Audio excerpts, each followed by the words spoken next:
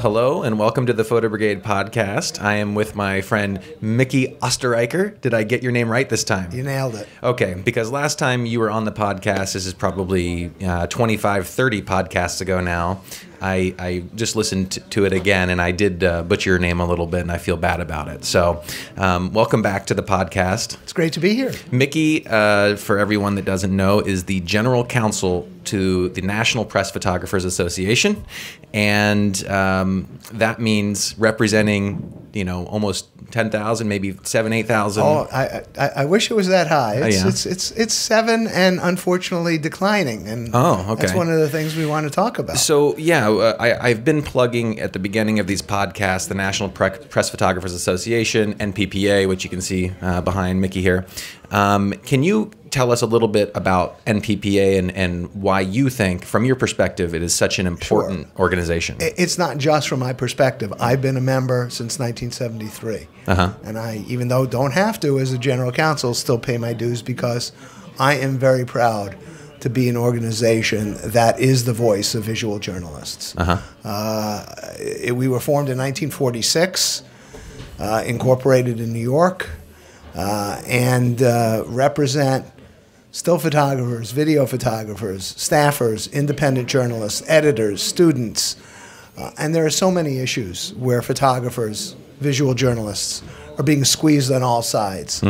From the access and First Amendment issues to not being able to take and photographs and record video to copyright issues where everybody thinks that the internet is the public domain and anything there can be taken and used for free right.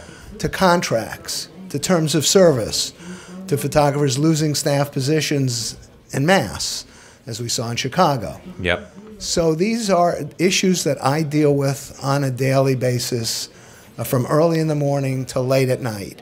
And the advocacy efforts that NPPA has made and continues to make um, really is worth the price of membership itself. Uh, there are many other organizations that charge three times as much as we do. Yep. Uh, we provide uh, a magazine. A wonderful Some- magazine some- too, a monthly it's- it- magazine. for those of you who remember Life, it's about as close to Life magazine with stories uh, dealing with issues uh, relating to our profession uh, every month, pretty much. as well as contests, uh, they, they you, you guys feature beautiful stories from photographers. We've got great members, contests. We've got, uh, uh, you know, BOP. which is coming up. I'm, I'm well, hopefully we'll post this uh, podcast pretty soon. But best of photography uh, contest is coming up at the end of the is the well, I mean the deadline's the end of this month, January.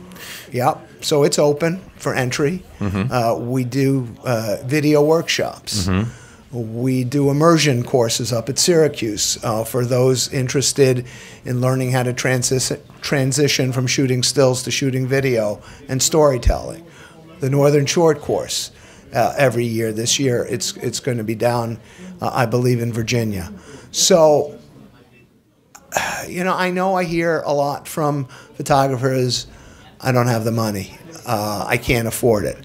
Uh, my position is that you can't afford not to be a member of NPPA because nobody really cares what I have to say or what I have to write, except for the fact that I am representing uh, a large group of professional uh, visual journalists. And imagine how much more impactful that would be if the number was greater. Right. You know, think about the National Rifle Association. How many members they have, what a force they are to be reckoned with. I mean, some of the things we've been doing now, obviously, one of the big issues is the use of drones for journalism. Drones are big now. I have a meeting tomorrow uh, with uh, House and Senate staff that have the oversight over the FAA. We've been meeting with the FAA. We've been, I, we did a survey, a one of its kind survey on the use of, of drones for news gathering. A- And I know that the, people in the uh, SUAS, the small unmanned aerial system community, uh, dislike the word drones as much as I dislike the word paparazzi. But but the point is, it's it's here to stay, and we're not talking about the kind of predators that fly and are armed and are the size of, of, of small airliners. We're talking about devices that SUAS is defined as anything under 55 There's actually pounds. one right over your shoulder here. Right over my We switch it back. It's it's in the um, well, it's behind in the in the case here. If we were talking about the drones. But uh, but there's just been a recent petition filed uh, to actually re have some rules for uh, MUAS micro drones, anything pretty much under. I think it's 10 pounds. It could be closer to 3 Um, so these are just another, I see, as another tool. It's like deciding, do you want, do I want to shoot this with a fisheye? Do I want to shoot this with a long lens? Do I need to get up in the air, Yeah. 50, 100 feet, and be able to tell well, we saw story? CNN's got this new drone system Well, and, and CNN has. What's happened is the FAA, which pretty much says there's a ban on the commercial use of drones, and they deem anything that they have not authorized as a commercial use, uh-huh. including news gathering. And we've we've always argued that there's a very big distinction between commercial and editorial use. But but that aside, they are woefully behind in their notice of proposed rulemaking. Uh, we were told that that was going to be issued in December, and I kept saying, "But what year?" Uh, Right. So we're still waiting. Uh, in the meantime, they uh, authorized uh, six test sites throughout the country. And, and what uh, CNN did is um, they have an agreement uh, with a test site down in Georgia, and, and they're going to be testing there. Uh, NPPA is part of a media coalition uh, of a number of groups the AP, New York Times, the Washington Post, uh, a number of uh, uh, large television chains. And we have also been talking to the Mid Atlantic test site, which is in Virginia. And we hope to be having an announcement uh, in the very near future where we will be doing the same kinds of things. I uh, proposed uh, some testing protocols that were accepted. Uh, so we've got some, some very real things to test. And, and, and we're trying to be good partners with the FAA. But unfortunately, you know, what we're seeing, what we're hearing in terms of requiring a private license, requiring a medical exam, requiring insurance uh, at the rate as if you were operating a Cessna.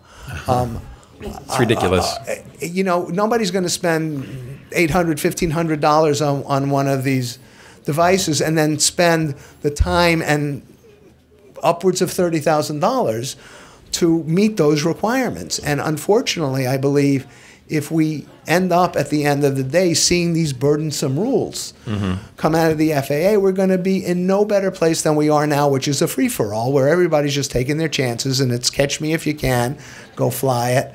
Um, and, and what we are proposing is something more like a driver's license. You take a written exam, you take a road test, as it were. You need to show that you can proficiently fly one of these. Um, you only can operate certain uh, uh, platforms, just like you can't put any vehicle out on the road. It's got to be approved by the Department of Transportation. The FAA can say, look, DJI Phantom is one of them, for example. Right, right. Uh, and then you have to show a minimal insurance. And I think if they do that, people will be lined up around yeah, the block. and I, and I think that there is some licensed. reasonable uh, precautions that photographers should take, like insurance. If that thing fell on a crowd and knocked someone out or killed someone, for God's sake, uh, there needs to be protections put into place for sure for the public. and and there will always be um, uh, people that are you know wrongdoers, the outliers. Yeah, yep. You know, people drive cars without insurance. People drive uninspected, uninsured vehicles. We don't ban driving, Right. um, so you know we will deal with those issues. So this is just a the, the peak of the iceberg or the tip of the iceberg that, that we're going to talk about with NPPA. Um, before we move forward, I just want to to give a few shout outs. A big thank you to Adorama and their event space, which we're sitting in right now, which is just a great beautiful, space. beautiful space that they've reconverted um, for for professionals and for events and all sorts of cool things. So if you want to see the type of events that go on, including the Photo Brigade uh, meetup, which we do at the usually the end of each month, you can follow us on uh, Photo Brigade Photo Brigade on all social media, as well as check adorama.com slash events to see what other cool events are being held here. Um, additionally, thanks to Tenba Bags, as always, for being such a supporter of everything we do, and to Rode Microphones for giving us these beautiful microphones, making Sound our great. voices sound Yeah, amazing. I sound a lot better than I usually. I know do. it's deceiving.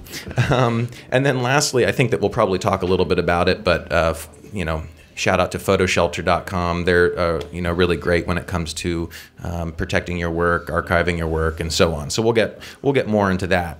And then before we also get into uh, more about the NPPA and what you do, I want to bring up that you know you yourself you're not just a lawyer you, you've been a photographer a videographer for many many years and uh, you know once once upon a time you were a, a handsome young man with an afro Exactly. and, and i thought i'd bring that up just Where just- did that guy go? well well you put it on facebook so now now it's uh, now it's up here so anyway um, Yeah, but- I, I, I uh, worked in print and broadcast for about 40 years and then decided to, to go back to law school. So this is, uh, for me, it's a labor of love. It's a way of giving back.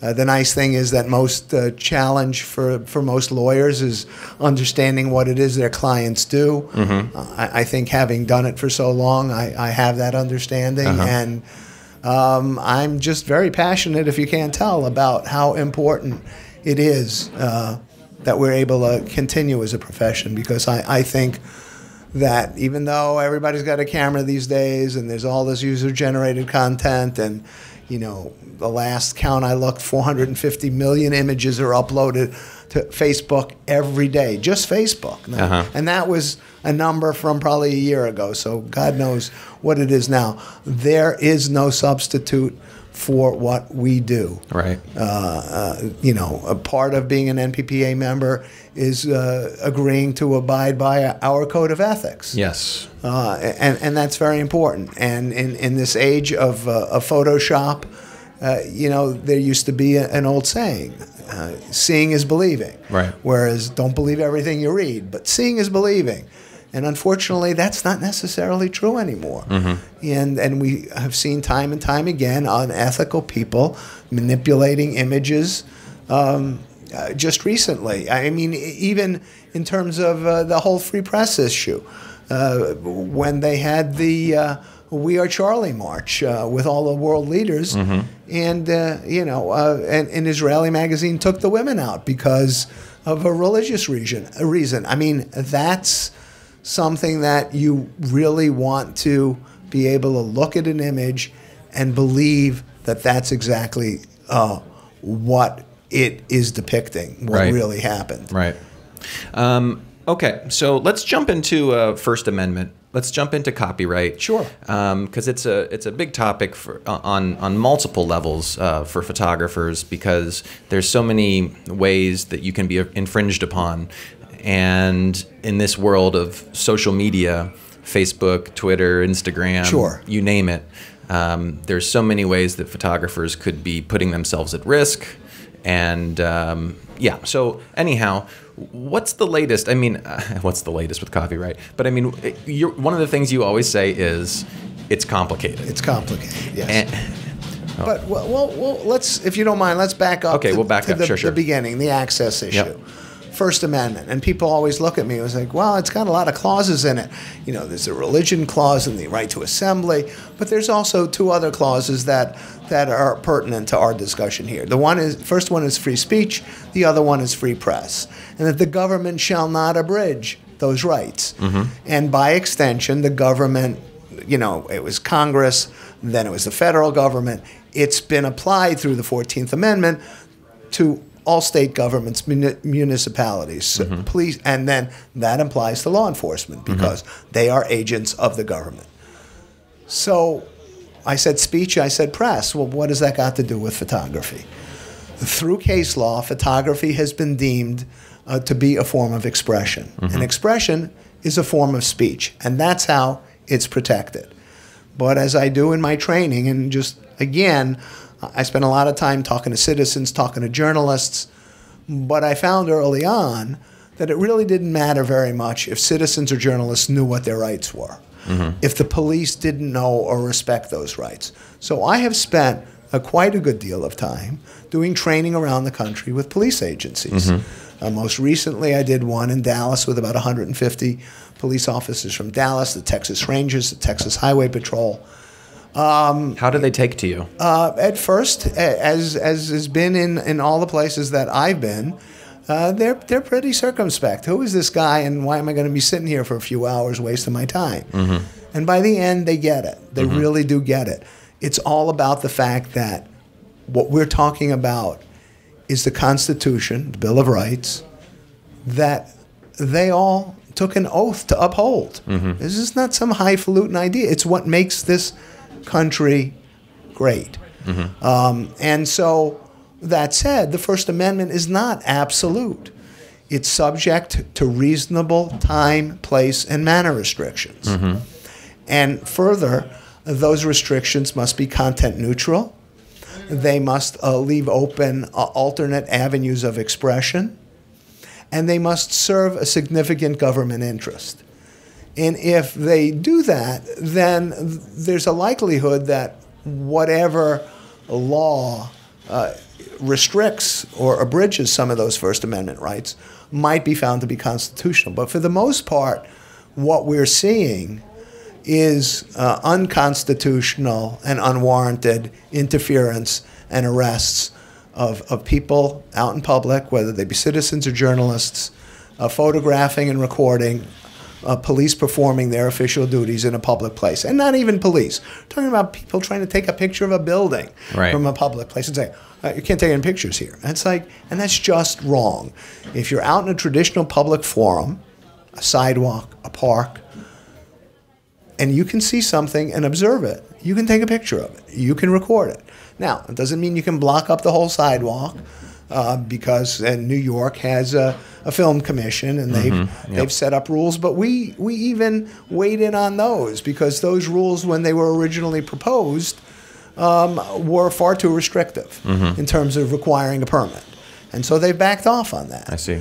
um, and uh, and and so pretty much you're, you're free to do what you want on a public street, and and and, and as uh, the the first Circuit Court of U.S. Court of Appeals uh, said, and I, I like this: the rights of the press and the public are coextensive, so that if you have a DCPI uh, depart. Uh, um, Deputy Commissioner for Public Information, and they're the ones that issue the New York City um, police press passes that may let you get into a press conference where you've got a small room and they got to figure out we can't let everybody in. Right. But when you're out on the street you're taking a picture, you don't need a press credential. That's that's an interesting thing you say. As, as but a, we see it all the time. As a photographer, I when I used to work more breaking news and stuff, I used to get the DCPI press pass, and then at some point I, I stopped because I never was asked to see it ever. I've been to all sorts of uh, different events, even photographed uh, President Bush when he came into, I don't know, it was the Bronx for something, and no one asked to see a DCPI press card. You know, I just showed him my license. It, it, it wasn't a big deal. So it's it's important to know that not you don't have to apply for for a police issued press pass in order to take pictures wherever you want. As a matter of fact, sometimes, unfortunately, having one can be a detriment. Where oh, you're at the press, uh, you you have to be over there. You have to be in press pen. You have to be down the block. You have a long lens. You Mm. Mm-hmm. Right. can shoot from Right. there, and then they'll let the general public uh, even closer. So, so that's just something important to know. But once again, you can know all these rights cold. Police can be 100% wrong. Mm-hmm. At that point in time, you're going to lose the argument. Yeah, And there they're the are they're the authority figure. there are no good pictures to be had with your hands handcuffed behind your back in a patrol car. yeah. There just just just aren't. Yeah. So that's a very personal thing as to whether or not where you draw the line between am I going to get arrested that day? And sometimes it comes without warning. Sometimes there's a discussion. You need to move back. You need to go. And sometimes one minute you're shooting, and the next minute you're down on the ground, Right. being told you're under arrest. Right. And uh, and uh, there there's no no in between. Mm-hmm. But uh, you know, uh, in New York in particular, um, in 1977, this is nothing new. Mm-hmm. Uh, the uh, New York Civil Liberties Union sued the New York City Police Department because photographers were being interfered with and arrested, and they entered into a consent decree, decree, whereby one of the things that was said is that photographing, taking pictures of police officers, if you're not physically interfering, if you're just standing there, minding your own business, keeping your mouth shut, taking pictures, uh, does not constitute obstruction of governmental administration, which is u- the usual what I call catch and release charge that you get charged with, uh, besides disorderly conduct. Uh-huh. And in in uh, I think it was 1999, that was incorporated verbatim into the NYPD patrol guide, and it says that. And yet we still see time and time again people being charged with that charge for doing nothing more than. Do you think it's it's because that these uh, police officers are not educated properly, that they're not being told the right thing, or do you think that that these officers, some of them that are giving people a hard time for shooting a building or a bridge or whatever it is, are told to do exactly that? Like, is it coming from above, or is it just ignorance on the police officers' There part? is no substitute for training. You know, police officers need to train with their firearms. Police officers need to go through training and they need to go through it on an ongoing basis. Not when you come through the academy. You learn it for you once, very minimally. Oh yeah, there's a First Amendment next. Oh yeah, there's a First Uh, Amendment. and and and and the, and the problem that I find far too often is that it's the because I said so, which works great for your mother, but other than that, a police officer cannot order you to do or not do something unless there's some basis in law, and then they certainly can't arrest you for defying that unlawful order. But it happens all the time. And um, again, as I say in my training with officers, we can do this the easy way or we can do this the hard way. The easy way is for them to learn and respect what those rights are. The hard way is getting sued. The problem is that it doesn't cause them that much money, if any. Right. You know, they may lose a few days' pay, may, uh, Maybe, yeah. but They're gonna get- they're gonna get paid to go to the one of the most recent settlements we just had w- this past June. We had a photographer, Phil Datz, who was shooting for NBC out in Suffolk County, and he got arrested. Obstruction of governmental administration. Took his camera.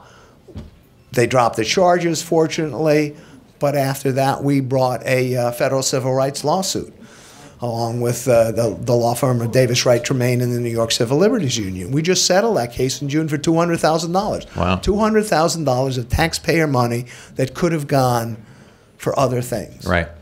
Just because this sergeant, who a supervisory officer for 30 years, he claims, should have known better Right. uh, but he didn't. And uh, aside from that, we, we got them to issue new guidelines, to issue yearly training, to set up a, a committee, uh, a police press uh, committee to talk about these things. Those are the kinds of things that we need. Uh, we just had another recent incident. People were paying attention over in Lacey, New Jersey, where a photographer was out. He was recording a, an accident. It was an officer involved accident, which usually raises their um, you know, protection. So a lot of officers will come up to photographers. If that was your mother, if that was your brother, would you want their picture in the paper? Would you be on TV? And and I assert, and I tell them all the time, that's not your job. Yeah. Your job is public safety, collect evidence, preserve crime scenes. Not- it's not- not, to determine whose picture gets taken and whose picture doesn't. Not to get be the taken. the PR rep for. so. yeah. Uh, what, not to be the PR rep for the, and, the and- person. and yeah. that sensibility gets raised even higher when there's another officer involved. Understandable human nature, but wrong. Mm-hmm.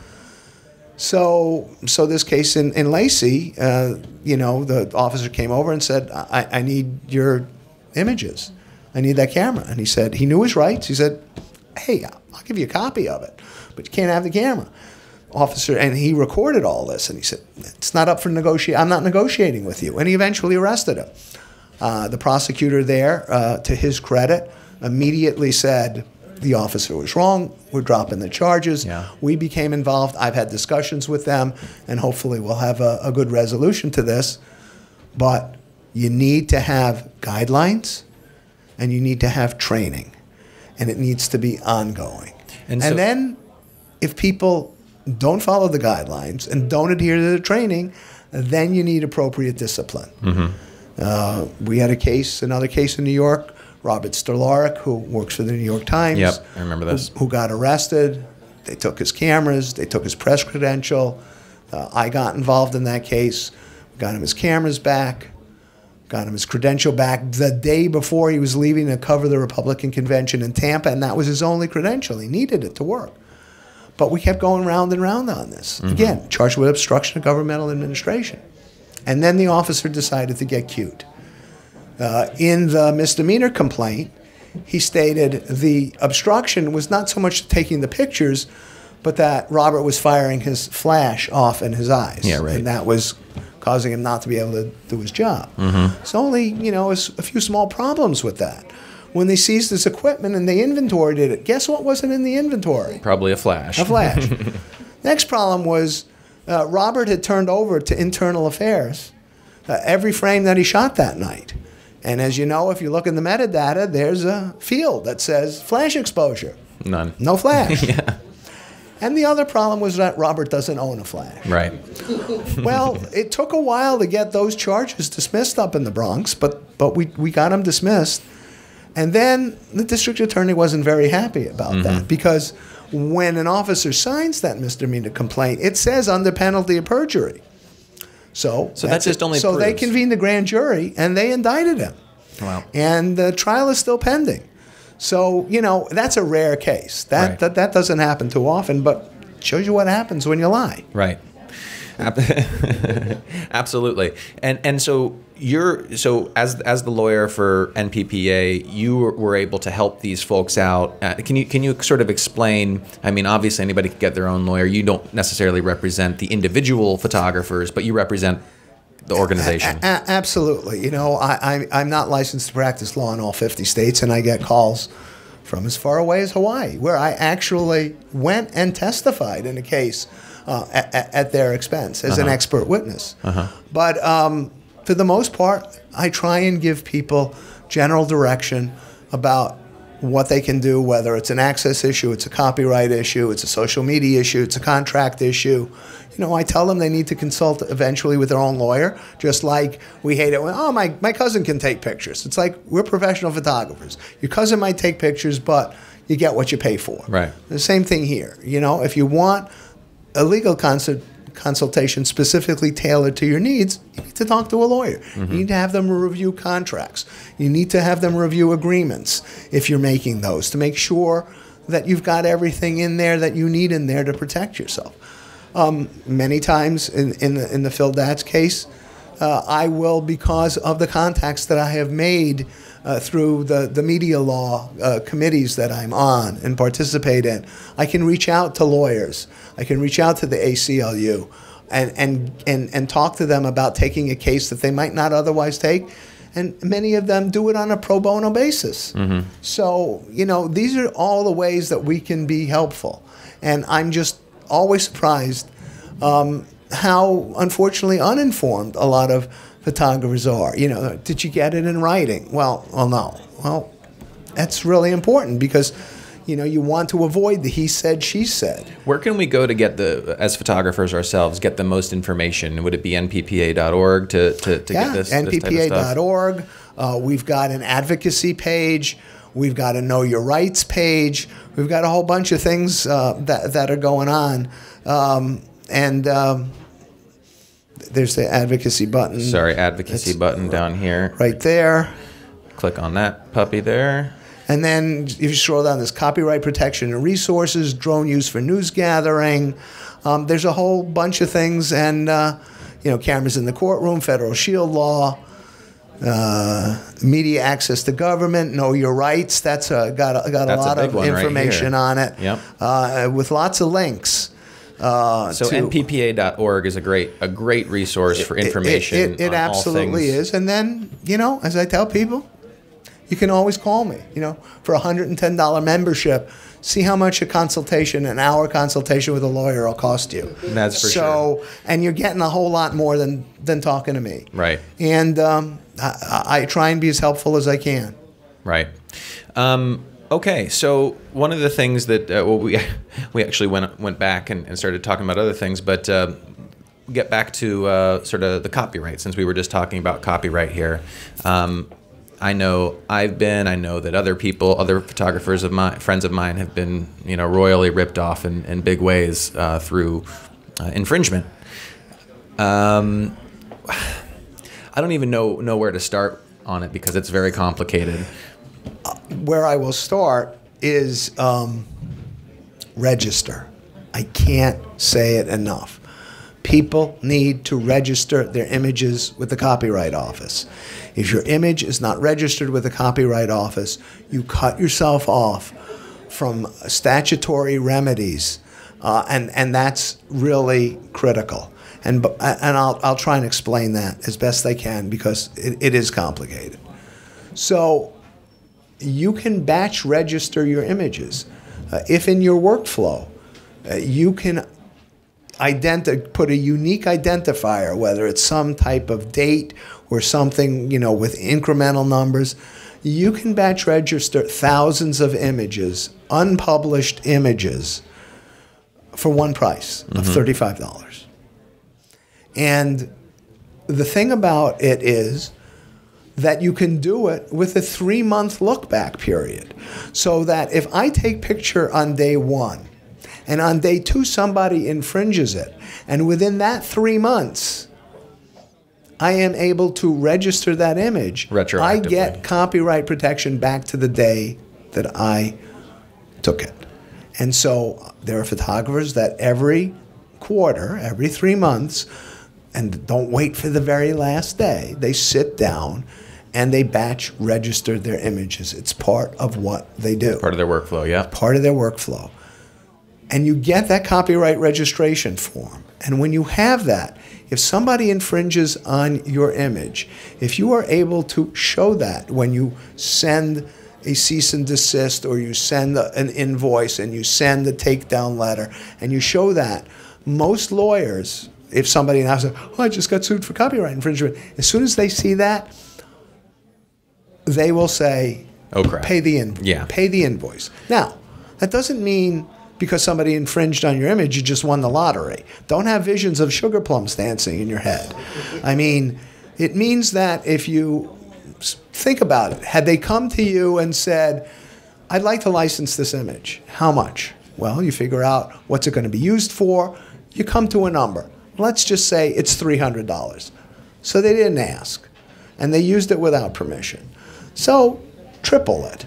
You know, there's a penalty for not but keep it reasonable. Don't say, I want $5,000. Because, you know, unless it's something very unique, you're not going to get it. Mm-hmm. And it's going to cost you a whole lot more. If that's the other problem, if you go to a copyright attorney, he's going to ask generally for a $10,000 retainer because it's very problematic bringing one of these cases. The only place you can bring a copyright infringement suit is U.S. federal court because copyright law is a federal law. Mm-hmm. You can't go to small claims court in the state. You can't go to, you can try filing in the state. You'll end up getting it removed to federal court. Now, that's another thing that NPPA was very instrumental in. We believe that, uh, and we advocated for and filed comments with the Copyright Office for a small claims tribunal whereby you can, it makes no sense. I want $600 for an image I'm going to pay $10,000 to an attorney with no guarantee I'm going to get the $600. Mm, doesn't sound like a very good deal. And the problem is that people that infringe with impunity know that. They, they know that. I mean, I just, I have this iconic image of the Blizzard of 77 that mm-hmm. I shot for Time Magazine. And uh, I, I uh, actually uh, re-registered the image because it was a different copyright law and it, the copyright had expired after 28 years. And every once in a while, I don't do it with a lot of my images, but that one, I'll do the image search. And I found some people and I sent them the letter and here's the registration form and this is what I want. And, you know, they tried to negotiate and I was willing to negotiate a little. I said, but you know it's going to cost, I'm an attorney. I get the file on my own. It's not going to cost me the $10,000, but it's going to cost you far more than the invoice yeah, yeah. to defend this. So they pay. But again, if it was just that's my picture, yeah. It, do you have the? Do you have the? Was it registered? It, if it's not registered, that's the other thing is even if it's not registered, you can't even bring a copyright infringement claim in federal court until you register the image. Now, if you register the image after the infringement, you still don't get the statutory damages. Right, right. And by statutory, I mean for an infringement, it can go. The, the range is seven fifty to thirty thousand dollars. That's for unwillful.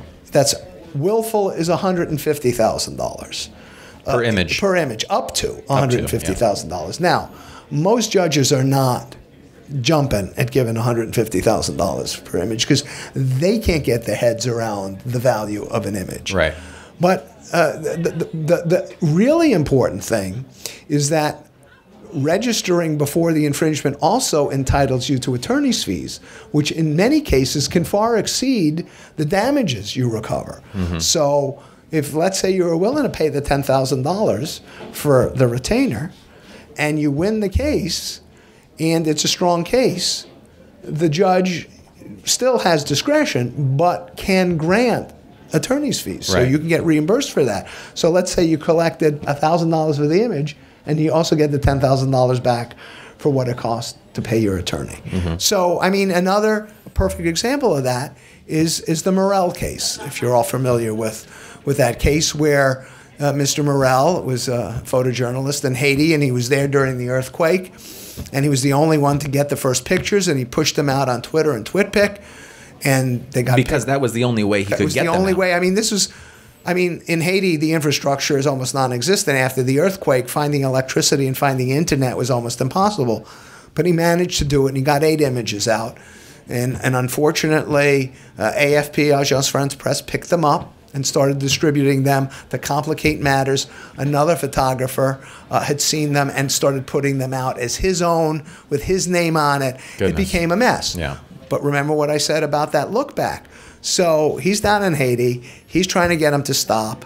Uh, they're going through all that. In the meantime, everybody out, Getty's picking them up, Washington Post, CNN. Everybody's like, these are the first images. They were on almost every front page of every newspaper in the world because people are still trying to get into Haiti while he's pushing these pictures out. Well, he ends up registering within that three month look back. He's got the copyright protection. Um, unfortunately, you know, throwing gasoline and adding insult to injury, AFP actually sued him and sought a declaratory judgment that he wasn't entitled uh, to the, the copyright claim, that the terms of service of Twitter and TwitPic allowed them to use those images. And what they said, what the terms of service really say, is that in very plain language, what's yours is yours. You're giving uh, them, Twitter and TwitPic, the right to use those for promotional purposes to say, hey, these images were first came out of Haiti through our service. They can do that. But a third party can't do that. And the first judge in that case said, sorry, what's yours is yours. That was pretty plain. You lose. Uh, and uh, in the meantime, obviously, Mr. Morel counterclaimed for willful infringement uh, because those images continue to be out there even after he told them to take them down. And they appeal that decision, AFP and Getty, and, uh, and, and a number of other defendants, like I said, the Washington Post and CNN and ABC and a whole ton of them. And the second judge basically said, which part of what the first judge said didn't you guys understand? and the and the case and the case continued. And for lots of reasons, it should have settled, but it didn't settle. Almost every defendant in that case, except for Getty and AFP, settled. Well, I think it's interesting to, to, to maybe point out also that um, there are serial infringers. You Yes, know? absolutely. Uh, and, and Pirates. this was a very unique instance, obviously, and those people were in the wrong, and they paid for it clearly. And, and, and, and I sat in during the trial. This was a jury trial. This, this went to the damages. Mm-hmm. And so there are eight images at 150,000 an image. The jury awarded him the 1.2 million, and then there's some other DMCA copyright violations. I watched that jury.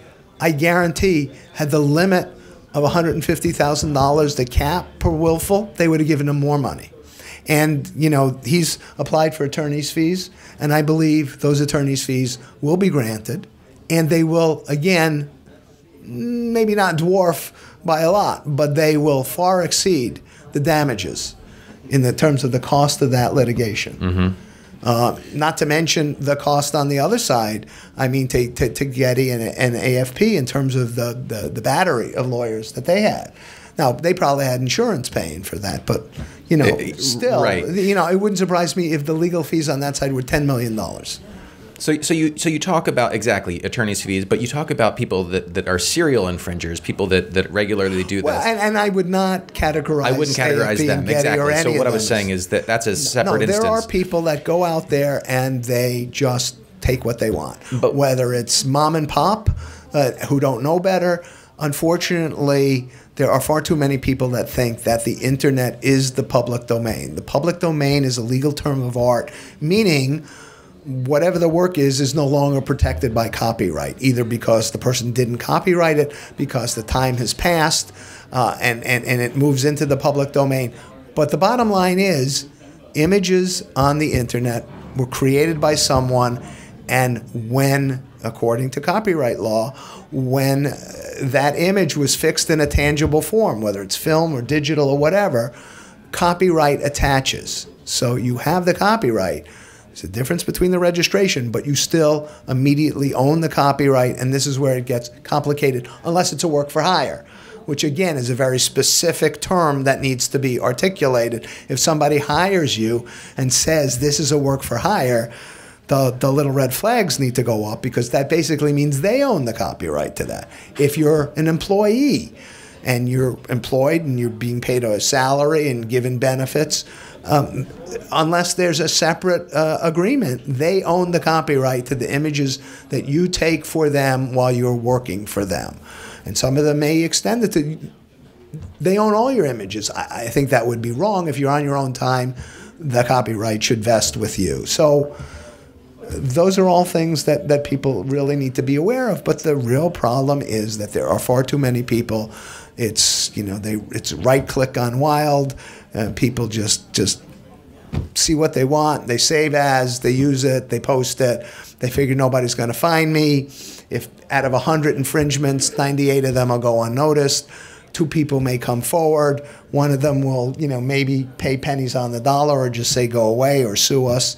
Uh, and so it's their cost of doing business, and it's very profitable because they're making money off of other people's work. It is interesting, and, and you and you, the, the, the, like I was saying, the serial infringers they will go on a on a big defense, trying to you know knock down your your registration, trying to just uh, or just or just ignore you. or ignore you. But I mean, even once you once I've heard many cases, you know, they'll go to court and it'll take years. You know, they'll keep putting in motions to delay, trying to you know make the photographer pay more And- money. And that's why legal having a small claims copyright tribunal, which by the way, the copy U.S. Copyright Office back in September of uh, last year, I can't. Or We 13, discussed I this briefly. 13, yeah, they absolutely came out and and were very supportive of it in a 200 page report that they issued. Uh, absolutely were supportive of it, but that has to be an act of Congress, which unfortunately we've got a Congress that can't agree as to whether it's daytime or nighttime outside. So even though there have been many hearings uh, that I have attended, you know, on behalf of NPPA and submitted testimony to, and been very involved with in terms of the next great Copyright Act, it's going to be it's going to be a while in the making. I mean, people I don't think realize that the Copyright Act from the 70s actually they started working on that in the 50s. So we ended up with 1950s type copyright law in the mid 70s. And mm-hmm. unfortunately, as technology expands at this amazing exponential rate, what I fear is, you know, they're starting now in 2014, and, you know, maybe by 2020, we'll end up with 2014 copyright law, and who knows what things will look like by then. Yeah. Here's a question for you. So, um, earlier you mentioned the the whole retroactive situation where you know the first uh, 90 the look days back, the yeah. look back that's that's when you first take the photo you have that time one thing that i i guess that you know i've only recently really learned and i didn't realize it because it's complicated um, is that you can register your your photos at any time but they're only registered from that point forward is that correct Again, it's published, and, and this is a real problem we've been dealing, trying to deal with with the Copyright Office is published and unpublished. If it's a published image, those usually need to be registered individually. ah okay Uh, if they're unpublished, they can be batch registered, and we're trying to figure out a way how to batch register published published. Try to figure out a way how we can mix published and unpublished. It's just it's it's a problem, but but we're but we're there working on it, and we're, we're, we meet with the copyright office, and along with other photo associations, we have these meetings. We're part of a copyright alliance. Uh, we're part part of NPPA is part of a copyright society. Uh, we are all trying to work together as best we can to advance the interests of photographers because, you know, I can get people all the access in the world. But if you can't afford to earn a living by the pictures you produce, you're going to go do something else because why go through all the hassle? And and as I said, I think the world will be a lesser place for not having these compelling images that, that we make on a daily basis. All right. Well, that register your photos so that you can, uh, uh, you know, get into. And the one other thing I just want to talk about that becomes this other ongoing problem is fair use. Oh yeah. Uh, people are always claiming fair use. Fair use is a defense to copyright infringement. So the way it's supposed to work is this somebody infringes your work, you file for copyright infringement. In their answer, they assert fair use. And, and then the court decides is it fair use? Isn't it fair use? Unfortunately, it's become a buzzword. I call it the FU defense because that's what people basically say when you call them up and say, hey, use my picture. Fair use. Bye. FU. FU. Um, and, and, and the court uses four factors to determine that fair use. And they're all supposed to be balanced. The problem is that one of this, another buzzword is transformativeness. And this happened in the Cariou case. Uh, uh, if people are familiar with it, uh, uh, Cariou. Prince, uh, Mr. Cariou, Patrick Cariou, was a, a fine arts photographer who took pictures of Rastafarians in Jamaica, and he did a book, fine arts book. And then uh, Richard Prince, who calls himself an appropriation artist, I call him a misappropriation artist. he took those images and he did some very minuscule things. You know, some might even call them childlike. Uh, Kindergartners could do the same. And he made big blow ups and he sold them at galleries for tens, if not hundreds of thousands of dollars. And Mr. Cariou sued for copyright infringement. And the judge in that case, there were, there were 30 images in question. The judge in that case, in the original trial court, federal court, found that indeed these images were infringing and actually ordered the artwork that Mr. Prince had created to be destroyed. Hmm. They appealed to the Second Circuit, who came out with this fair use, nonsensical, I believe, ruling.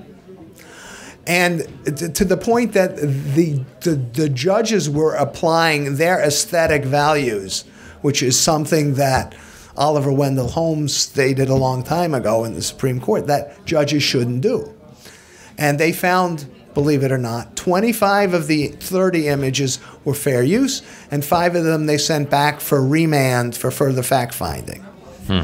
If I show you the pictures, you will not for the I've shown them to lots of people. Nobody can figure out which ones are the fair use and which ones are the non-fair use possibly. So on remand, uh, the NPPA, along with a number of other groups, filed an amicus brief, as did many galleries uh, in support of Mr. Prince. And uh, uh, they actually tried to appeal the case to the Supreme Court. The Supreme Court refused to take it, and the case eventually settled for an undisclosed amount of money. But we're finding that this fair use is rather than being the exception to the rule is turning copyright into the exception to fair use and that's something that we are very much again as groups and nppa is, is, is very involved in leading the way in this and making sure that doesn't happen so that so that the exception doesn't uh, subsume the rule So let's transition to something that's a little bit more uh, uh, something an issue that I just saw in the last week or two. I mentioned it in my last podcast, which I actually just published today. Um, but there's this fella in uh, Columbus, Ohio. I don't know if you saw this issue where he's being sued by a model because his photos he claims were stolen and then used by a, a pornography sort of situation.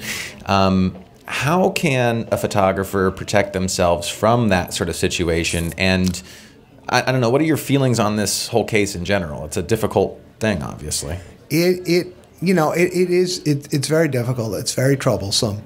Um, I think the big thing that people need to keep in mind is that you can shoot something for an editorial purpose. Remember going back to you have a right to photograph and record on the street Yeah, yeah, because yeah. there's no reasonable expectation of privacy in a public place. That's all well and good. Mm-hmm. But what you do with those images afterwards can get you in a whole lot of trouble. Mm-hmm. Uh, and so you have to be aware of what's going on. So if you shoot something for an editorial purpose, the, the problem these days is it goes into this huge database of images at some organization. And even though the editorial side might see something, then, you know, uh, the advertising side sometimes is also able to see the same database. That's a great picture.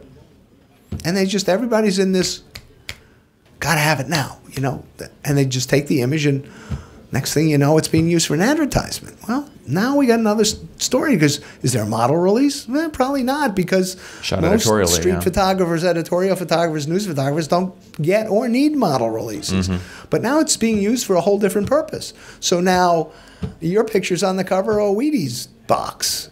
And you go, I, I didn't give anybody permission to, to, to do that. I, I'm suing. Um, you know, and there are in different states, there are, you know, if the picture is, let's say, defamatory in some way. You know, the example I like to use is, so think about the news, and they are doing a story on either obesity or smoking, and they're shooting on a public street. Again, you have a right to do it, but what do they show? They usually show posteriors, low shots, tight shots of embers going. They don't show identifiable features because even though they have a right to do it. They're trying to be a little, you know, circumspect. And rather than show somebody who says, "You called me, you you put me in a story about fat people," you know, I I'm em- embarrassed, and they they sue for defamation, uh, for right of publicity, for whatever. So you need to be very aware. Just because you have a right to take a picture, got to be mindful of afterwards what might happen to it. So back to the database. So these pictures, they're out there. People find them. People again misappropriate them. You need to be very careful in your contracts with people and your agreements. Uh, just like if you see a clause in there, indemnify and hold harmless, where the company, if they get sued, has the right to come back to you and indemnify basically means insure. Uh, and so you'd be paying for their legal fees, and you'd be paying hold harmless. If there's damages found against them, they're going to come back to you and say, "You pay the damages. It's your fault that this happened." Right. So you need to either make sure that that gets struck, so you're not found, or that Mutual. uh, they mirror. Yeah, yeah. They mirror each other. The same thing happens for them. If through no fault of your own, those images get used because of something they did, and you get sued, they need to indemnify and hold you harmless. And again, that that another thing is insurance. You know, you need to have insurance. If somebody trips over one of your cables or a light falls on their head or anything, you need to have some type of liability insurance. And then the other thing is you need to think about incorporating because if you're just out there by yourself, your house, everything you own could uh, eventually uh, be found if you get a judgment against you that you'd have to sell all that uh, in order to satisfy the judgment. So it's not like, hey, you got a camera, let's go out and take some pictures and see what happens. Because in this case, we did see what happened. We did see, and, and although we haven't seen you know any kind of ruling, but we see that he's put in this position, whether he was is you know guilty or not for, for whatever has happened. But is that something that uh, in a, like a model release you can you can have like a indemnification clause within? I mean, I don't know. I'm just thinking like, is it would it be then uh, you know is it the fault of of it's like I don't even know what, what to say in these sort of situations. Well, you know, it depends on how broad a release you have. I mean, if you have like any and all medium worldwide, you know, for now known or unknown use. I mean, you see these things that Yeah. try and project into the future. Um, I, I think the agreement probably should have. He should have probably had uh, maybe a better model release. Again, I, I you know I That's without looking at it. We don't it's know. about we don't looking know at it, the, I, and I, and I, hate to speculate, you know, and and whatever type of insurance, if if he didn't have any, probably should have had some, Mm-hmm. and whatever the agreement was between him and the the agency that he was shooting for. right, right. So those are, you know, it's a cautionary tale of you hate to hear these horror stories, Yeah. but it's what makes people wake up and say, "Oh my God, I, I need to, to to work on this." If you if you're trying to run a business, you're trying to make money, you're trying to be professional, then you need to do all of the things that one does. You know, I'm sure the store mm-hmm. has agreements and contracts and insurance and all of the things that it needs to have to protect itself. Mm-hmm. Okay. Um, and then uh, I'm not sure if there's anything that we haven't really discussed that you, that you want to to throw out there because obviously all this is important and there's you know we could talk for I- I- hours. yeah, I think another thing is uh, th- to think about is is obviously social media. Oh yeah, social media. for social sure. media and the terms of service, terms of use, whatever they want to call it. Mm-hmm. Um, everybody again is in a hurry. You find the radio button. I agree. Nobody reads it, and then it's oh my god, uh, you know they use my pictures and and and the problem is this is that many of the terms of service include a clause that says we can change the terms of service whenever we want.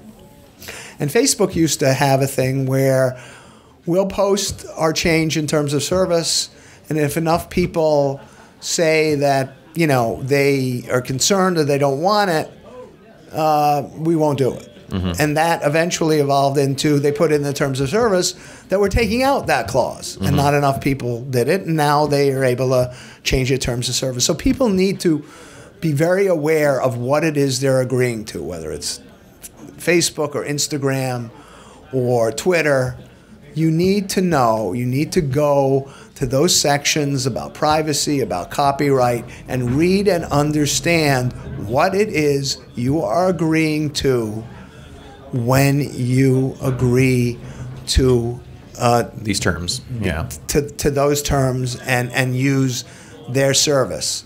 You know, some some places say when you take it down, everything's down. Others say you can take it down, you can close your account, but the images remain. And unfortunately, it creeps more and more. And and uh, you know what some of these sites looking to monetize on your and I hate the word content because I think it minimizes images. Content to me is what it says on a macaroni box. The content of this box may have settled. That's content. What we do is not just content. It's creative work. Um, and so you you need to you know make that decision. Are uh, the terms of service so onerous that you're doing yourself a disservice by using that product. Right. Or, okay, I understand, I'm taking my chances, and I'm willing to do it for whatever reason. But I I can't stress enough you need to read what it says and you need to be aware of it. There was just a recent case I posted out of Florida where, and, and this has to do with privacy more than copyright, but this woman um, slept in a Target store and she hurt herself. She claimed she hurt herself and she sued Target. And Target went on her Facebook page Oh right. and they saw images of her partying and carrying things and doing all the Right, stuff right, that right, she said she could no longer do. So in discovery, because that's one of the things that happens, though each side asks for Information, information, and yeah. material, they ask for pictures, and she ended up deleting them all and saying, "I have my my uh, privacy. It's set to private, only to my friends, so you're not entitled to them." Hmm. And they went to court, and basically the court said, "No, you know, you can have what you, you're putting stuff out for people to see, whether they're your friends. And the problem is, if friends of them don't have privacy and it becomes public, it's just it's out Yeah, there. yeah. yeah. There's ways for it to so be seen. Mm-hmm. those are things people need to be aware of. Even pictures now, you can post a picture, and have your privacy settings that only your friends can see those. But if one of those friends shares that picture with somebody else who doesn't have those privacy settings set to private and has them set to public, that picture becomes public. It, it's it's really an interesting sort of uh, situation, uh, Facebook and everything. I, I, know I know that um, we have. Here's some more water you. for you. Um, I know that we have. Uh, various settings we can do and, and, and, and things. And obviously, Facebook is a, is a tool. I know, I mean, I know, for instance, you are on Facebook and use it to, to you know, share advocacy issues and, and things like that. I know that I post photos onto different social media networks. Um, one of the, the more recent um, things I've been trying to do is making sure to at least watermark all of the photos that Absolutely. I put on, because um, you know at the very least, you know if they're shared, they'll have where it came from. Yeah, and, and that's a problem with metadata. A lot of these sites strip out the metadata. So even if somebody wants to try and figure out whose picture it is, they can't. Uh, and that's a whole Orphan Works issue. Can, Orphan Works was envisioned as images that were taken so long ago that nobody knows or remembers or can find the person that created it. We have instant Orphan Works now.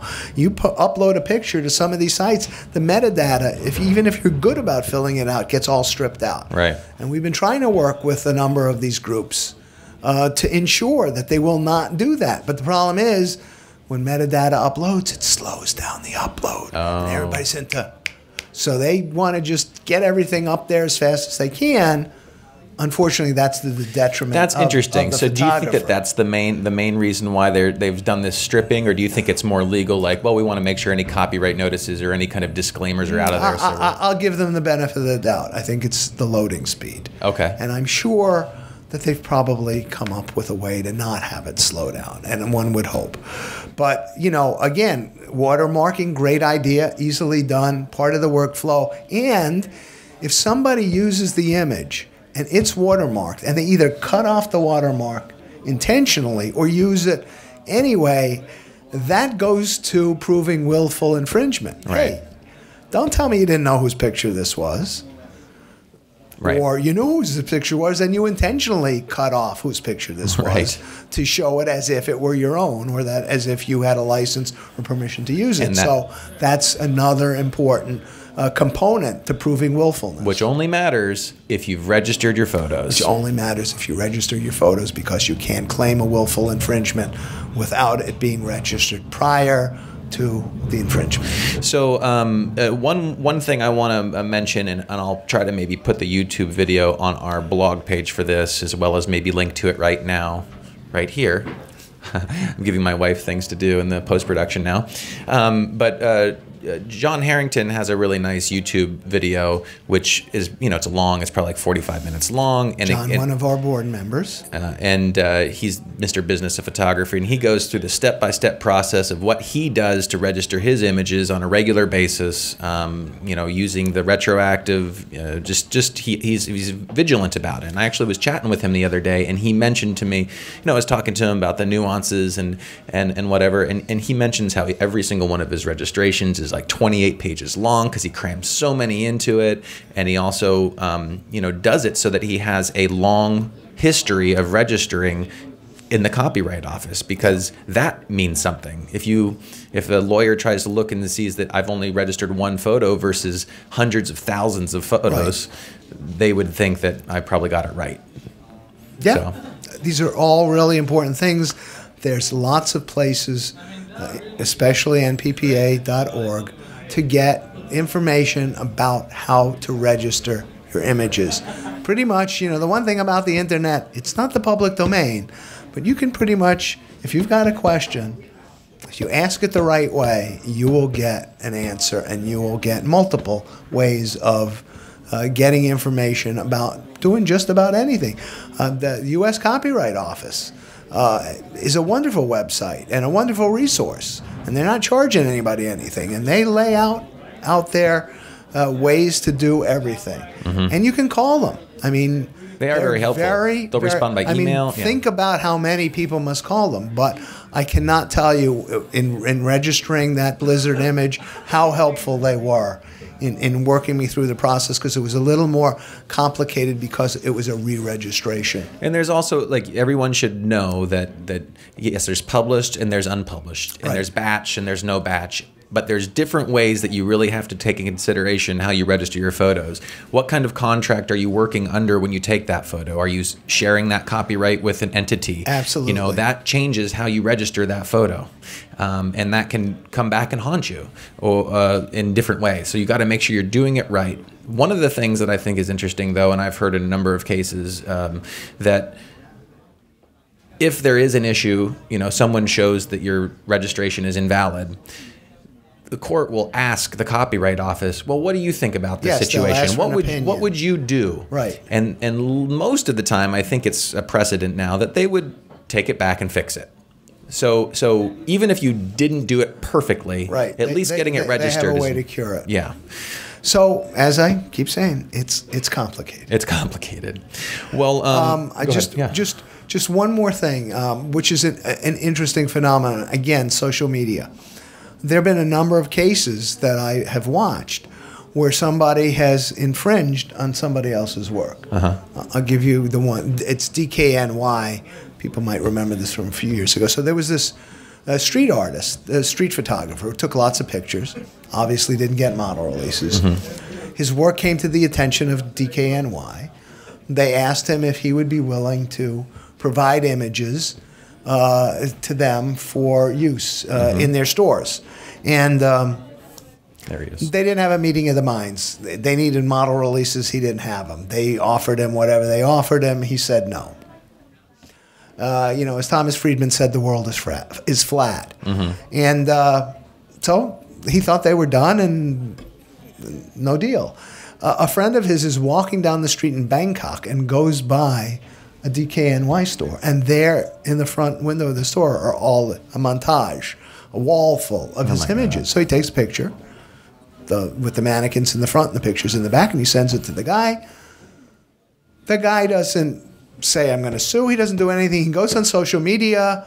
He posts this thing, tweets about DKNY, shows the picture, and asks for $100,000 to be donated to the charity of his choice. Huh. And so there's, there's all this back and forth. The thing goes viral. And within, I think it was either a day or three days, DKNY said, Will you take 25000 to the charity of your choice? Done. the power of social media. Yeah. I guarantee a battery of lawyers, it would have been years and hundreds of thousands, if not millions of dollars in legal fees to adjudicate that case. Which also then shows the power of social media in various ways as which well. shows the positive side of Yeah. it. There's another story with a color run, a college student. Uh, again, Oh yeah, I remember this. Yeah. he uh, took pictures. Uh, they asked him if he'd do stuff for them. He said basically only online. Ends up seeing some of his images in the store. He goes. He, he kind of went overboard. That whole visions of sugar plums, you know, and then made this outrageous demand. They went back and forth. The the the company dug in its heels. There's a lot of bad going back and forth, but the you know the, the the running thread was with the photographer and eventually the case settled and it was done done amicably Right. uh, and and again within days as opposed to years in court so that's important to, to keep in mind too Okay. Well, let me give a, a few more plugs. So, NPPA, one thing we didn't mention is, at least at, at the time being, there's a, a certain deal that they've got going on, which is, uh, you know, helping to, to grow the membership. students uh, forming student chapters, getting other people to join, getting a discount for that. Uh, you know, and it's also something that is very important. We need it, it's matching funds. We get money uh, from an organization that uh, collects uh, fees for reprographic rights, and then they distribute them to organizations, and it's based on how many members we have. So the more members we have, the more money we get, the more we're able to do. Uh, you know, it's I've kind of I've got one for you. I just remembered I changed my Amazon account Am- smile.amazon.com. And, and that benefits the National Press Photographers Foundation. if oh okay, but, so but, there's a little but bit difference there. it's a little bit of a difference. They're a 501c3. Uh-huh. You money that gets contributed to them can be claimed as a tax deduction. We're a C6. It can't. We're still a nonprofit, but it works a different way. But you know, whatever people can do to join to support, uh, we need to remain a viable organization. And as I said, uh, you know, we can we can all hang together. Well, I didn't say it. Ben Franklin said it. But we can all hang together, or we can all hang separately. Yeah. And uh, unfortunately, if you're out there on your own, uh, trust me, it. it uh, it, it doesn't work as well. The last example I'll give, we had a student, he had a picture on Facebook uh, from UNC, University of North Carolina. They used his image. He sent them a letter with an invoice. They basically said, We're not paying for it. We're sorry. You know, their attorney got involved and said some very nonsensical things. I sent him a letter. Guess what happened?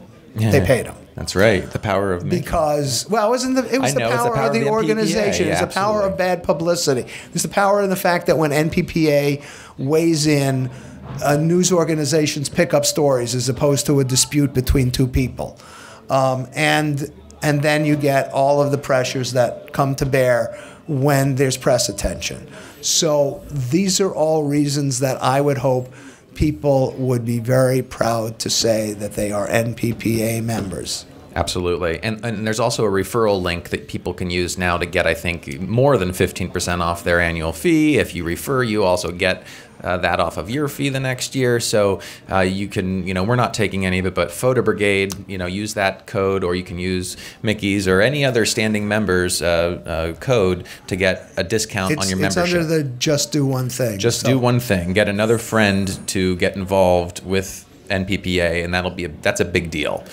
Um, other than that, nppa.org. Make sure you get going there. Um, I mentioned we were going to talk about Photo Shelter as well, but we won't really. But they've got some really great copyright protection tools uh, that you guys should check out. Um, Sure, avail yourself of whatever you have uh, that will work for you. Well, Mickey, I, I really appreciate you coming here. I know that you've got to get to court, go downtown right now. Um, so thank you so much. Thank you to Adorama, Rode Microphone, Tenba, Photo Shelter, and uh, Mickey. And thank you. It was great, as I'll- always. I'll see you next time. Lots of fun, and hopefully uh, people uh, got some information and enjoyed it, and they'll join NPPA. Join NPPA. Oh yeah. Also follow. Uh, you can follow Mickey on uh, Twitter. NPPA Lawyer. Yeah, that's my Instagram my is the same, or- I don't use Instagram. Oh, okay. Oh, yeah. Again, terms of service, but that's something personal. Good for you. and uh, you know, and uh, There's and- some and- good resources. And, and uh, Facebook. Facebook. He, he shares advocacy stuff. Follow us at Photo Brigade, Facebook, Twitter, and all the others. All right. Thank you, This Mickey. is great. Thank you. Cheers.